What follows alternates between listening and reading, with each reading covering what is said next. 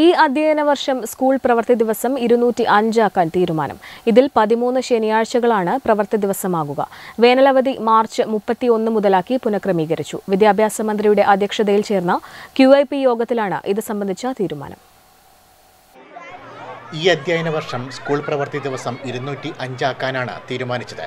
ഇതിൽ പതിമൂന്ന് ശനിയാഴ്ചകളാണ് പ്രവൃത്തി ദിവസമാക്കുക. വേനലവധി മാർച്ച് മുപ്പത്തി ഒന്ന് മുതലാക്കി പുനഃക്രമീകരിച്ചിട്ടുണ്ട്. ക്യു ഐ പി യോഗത്തിലാണ് ഇത് സംബന്ധിച്ച തീരുമാനമുണ്ടായത്.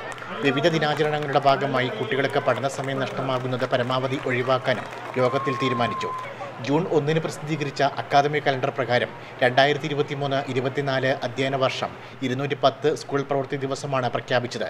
എന്നാൽ അധ്യാപക സംഘടനകളുടെ എതിർപ്പിനെ തുടർന്നാണ് പഠന ദിവസം ഇരുന്നൂറ്റി അഞ്ചാക്കി നിജപ്പെടുത്താൻ മന്ത്രി വി. ശിവൻകുട്ടിയുടെ അധ്യക്ഷതയിൽ ചേർന്ന ക്യു. ഐ. പി യോഗത്തിൽ തീരുമാനിച്ചത്. വേനലവധി ഏപ്രിൽ ആറ് മുതലാക്കാനുള്ള തീരുമാനവും പിൻവലിച്ചു. മാർച്ച് മുപ്പത്തിയൊന്ന് മുതൽ എന്ന തരത്തിൽ വേനലവധി പുനഃക്രമീകരിച്ചിട്ടുണ്ട്. കഴിഞ്ഞ അധ്യയന വർഷം ഇരുന്നൂറ്റി രണ്ട് പ്രവൃത്തി ദിവസങ്ങളാണ് ഉണ്ടായിരുന്നത്. ഇതിൽ നാല് ശനിയാഴ്ചകളും ഉൾപ്പെടുന്നു. അതേസമയം ഈ അധ്യയന വർഷത്തിൽ ആകെയുള്ള അൻപത്തിരണ്ട് ശനിയാഴ്ചകളിൽ പതിമൂന്ന് ശനിയാഴ്ചകളാണ് പ്രവൃത്തി ദിനമായി നിശ്ചയിച്ചത്. ആഴ്ചയിൽ അഞ്ച് ദിവസം അധ്യയന ദിനങ്ങൾ ലഭിക്കാത്ത ആഴ്ചകളിലെ ശനിയാഴ്ചയാണ് പഠന ദിവസമാക്കിയിട്ടുള്ളത്.